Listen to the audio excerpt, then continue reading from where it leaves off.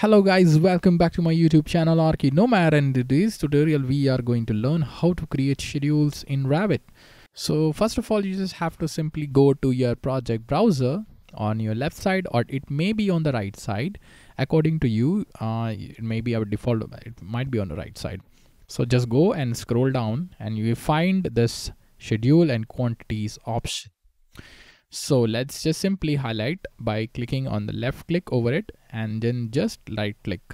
You'll find this option new schedule and quantities. Just simply click this one.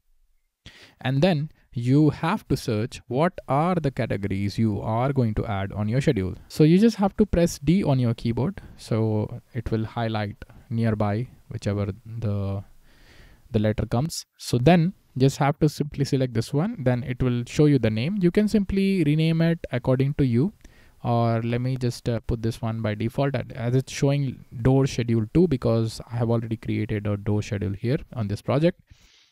So now just simply click OK. So now this this dialog box will open up in front of you as you can see on this screen. So you have to first add the fields, whatever the fields you wanted to show in your schedule in this project.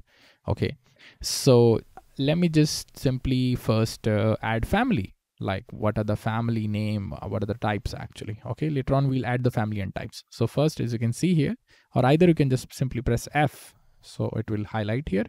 Then you just have to click i think there is a glitch.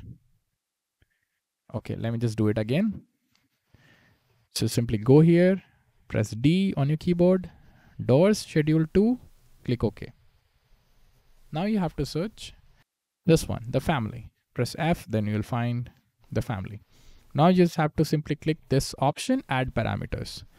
So the next parameter I want to add family and types. So I'll just simply highlight and simply click this add parameter. So it will automatically, you know, like uh, in order, it will go up and down. You can simply go uh, here and just select and make it up and down according to you whatever the like the in the fields whatever the things you want to sort it out like that.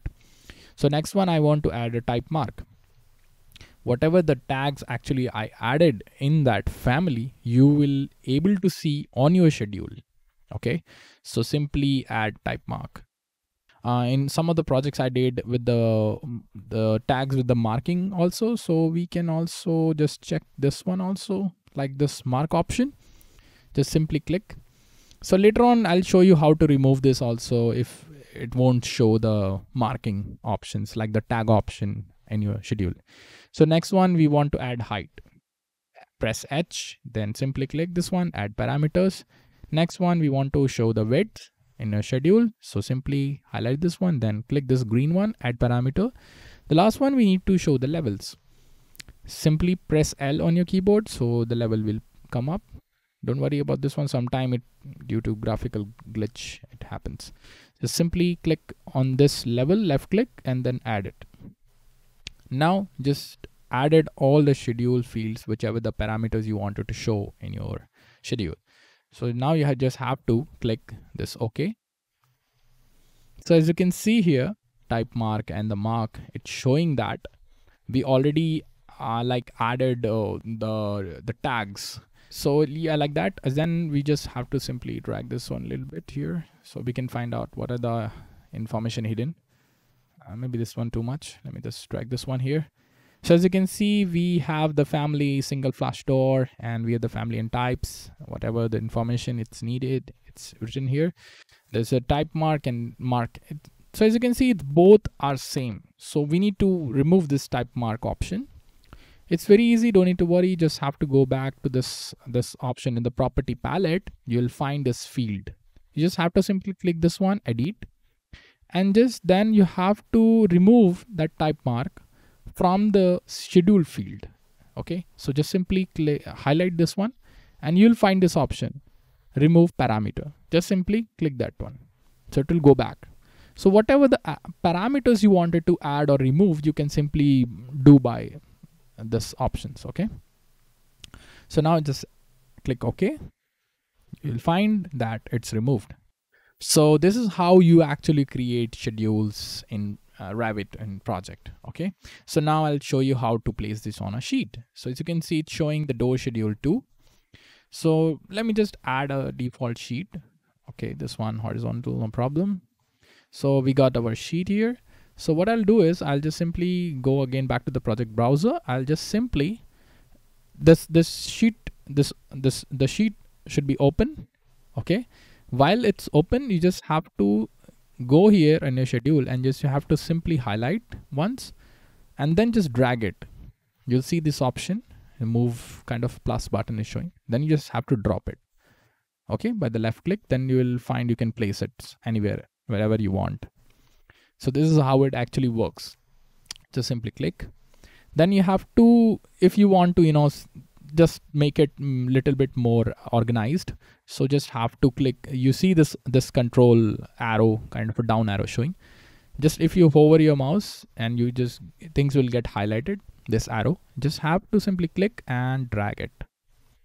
So it will be like you know get a lot of space to you know see whatever the things written clearly. So now i'll do the same thing. This is the control. So just simply as you can see it's now getting much better you can see now. It's much better you know?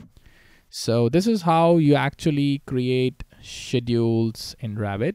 Like I created for the door. I'll just show you the simply how to create for the window. So just simply go here. New schedule. Now you have to find W window. And then that's a window window schedule 2 as you know that already created for the windows also.